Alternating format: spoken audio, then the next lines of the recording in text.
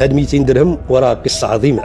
200 درهم. 200 درهم. 200 درهم. ارقام منامرة. هاد 200 درهم هي اللي وصلتنا للرتبة 94 في مؤشر الفساد وللرتبة 123 في تصنيف العالمي للتنمية البشرية. هاد 200 درهم اللي كتشوفوا فيها واللي كانت كتشري لكم قفة ديال اللحم والخضرة والديسير وتشد بها الطاكسي وشيط لك الصرف ولات ما تشري لك حتى ميكا ديال الخضرة فيها نص كيلو ولا كيلو ديال الخضرة. هاد 200 درهم في الحقيقة خاص اللي فهمها باللي هي راه 200 درهم ماشي 20 درهم ما تبقاش دير لنا الفعيل ديال 20 درهم. هاد 200 درهم اللي ما بقاش تشري لك حتى جوج كيلو ديال اللحم للأسف مازال كيتشرى بها واحد فيه 80 كيلو في الوزن نهار الانتخابات. هاد 200 درهم اللي كانت ثقيلة ولا كنتي دايرها في البسطام ديالك كتحس براسك هاز فلوس كثيره ومطمئن ولات خفيفه أخف من الريش وكطير أكثر من هذوك المؤثرين ديال تيك توك. هاد 200 درهم اللي كتغبر العام كامل وكيولي الوصول إليها أصعب حتى من الوصول إلى كأس العالم. كتبان فجأة وبشكل مكثف متواصل أيام الانتخابات ويصبح الوصول إليها سهل المنال. هاد 200 درهم أو الزرقالاف كما كيسموها المغاربة هي للأسف اللي وصلت الشوارع ديالنا والزناقي ديالنا والوضع اللي نحن فيه إلى ما نحن فيه. وأنتم كتشوفوا طبعا والشواهد كثيرة.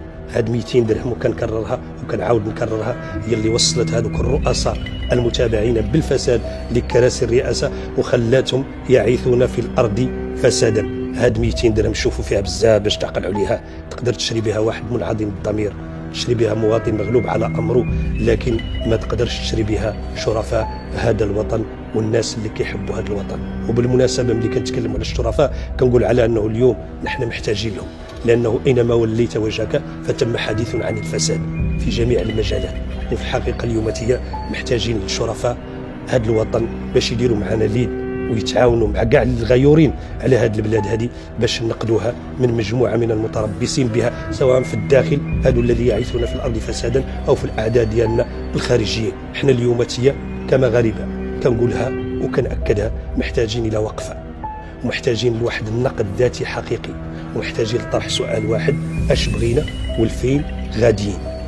بغيت نتكلم ونقول على انه اليوماتيه وفي ظل هذا الوضع الاقتصادي اللي كنعيشوه ونحن مقبلين على مجموعة من الالتزامات اللي غادي تثقل لنا الكاهل ديال الأسر المغربية واللي ما كلات هاد 200 درهم ساوية فيها حتى شي حاجة.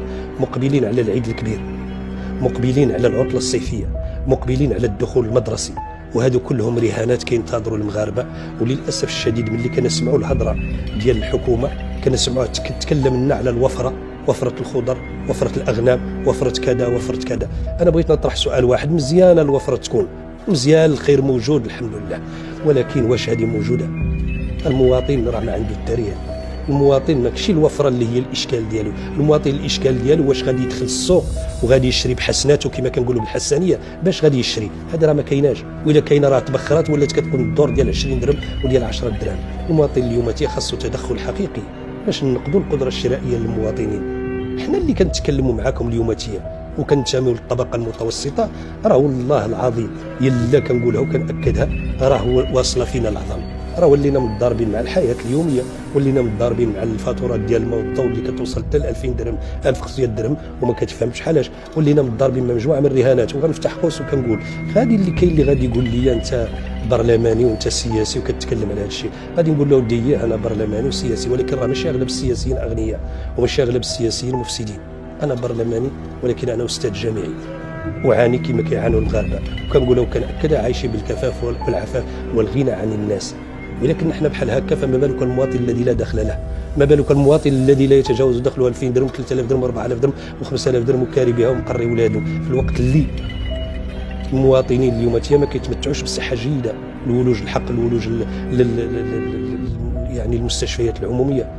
حق الولوج للمدارس العمومية. شوف فين وصلت المستشفيات العمومية ديالنا والمدارس العمومية ديالنا. واليوم كل شيء متجه للخاص وكيتضارب مع الوقت باش يقري ولادو أحسن قراية. في الوقت اللي للأسف الشديد في الدول اللي كنعتبروا نحن قدوة لنا الخاص كاع ما كاينش. كيعتبر بالنسبة لهم لا شيء لأنهم علاش كيقووا المؤسسات العمومية ديالهم كيقووا المدارس العمومية ديالهم كيقووا المستشفيات العمومية ديالهم والناس ديالهم كتمتع بتغطية صحية حقيقية اليوماتيه والله العظيم إلا كنتكلم وكنتكلم بكل أسى وبكل حرقة على هذه البلاد هذا وعلى هذا الوطن هذا وعلى فقراء فقراء هذا الوطن هذا وعلى الناس اللي غادي يعانوا في هذه الأزمة هذه الحقيقية. وحنا مقبلين على عيد الأضحى والحكومة تتكلم عن الوفرة ديال رؤوس الأغنام. هي كاينة ولكن ماشي تشريها لي ب 70 اورو وتبيع لي 3000 درهم ولا 3500 درهم. هنا فين نطرح السؤال؟ وهنا فين خاصنا نتكلموا في الحقيقة؟ وللحديث بقية. تحياتي لكم والسلام عليكم.